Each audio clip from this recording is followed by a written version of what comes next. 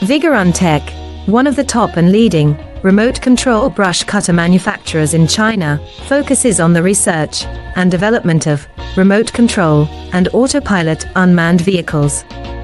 Remote control lawn mower is our current main product, widely used in lawn mowing and weed cutting, suitable for orchard, steep incline, front yard, wasteland, wildfire prevention, landscaping use and so on.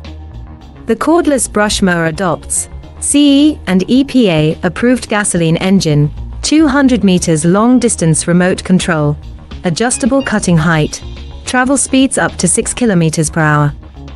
Based on the in-depth understanding of our own products, we can provide the best after-sales service. We are looking for distributors and dealers all over the world